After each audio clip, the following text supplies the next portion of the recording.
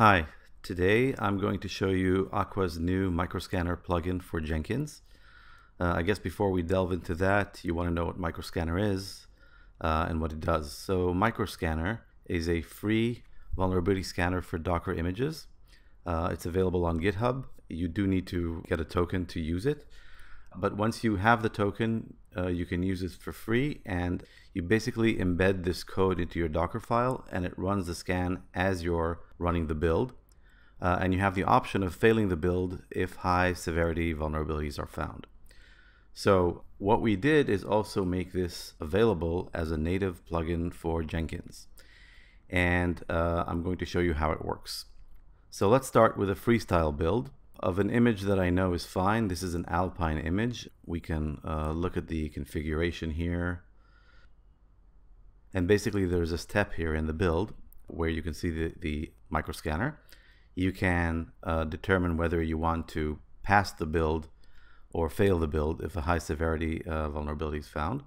And you can see that the image name is Alpine latest. Uh, we're going to save this and build now. And let's see what happens. So uh, the build is running. It should take a couple more seconds.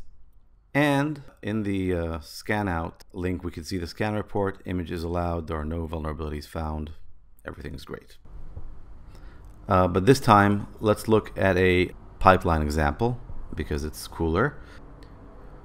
We created a pipeline here. So under advanced project options, you can see the pipeline script. And in there, you can see that we are uh, including a stage called microscanner. And the image that we're scanning is a vulnerable image with the infamous struts vulnerability. So let's go back and run this. Let's build. Again, we can see the first couple of steps went fine.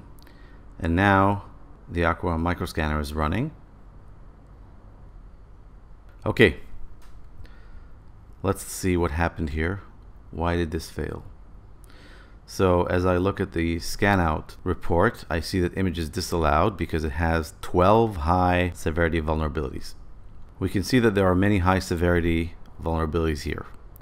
So let's just pick one. And if I go to uh, the name, uh, we can see that has a CVE number. And opening it will lead to the actual CVE information page, which, which I can see is a Debian CVE.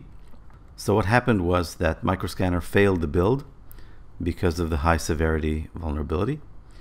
Um, if we go back to see what a healthy pipeline looks like, uh, again, this is going to use the Alpine image that I showed you before.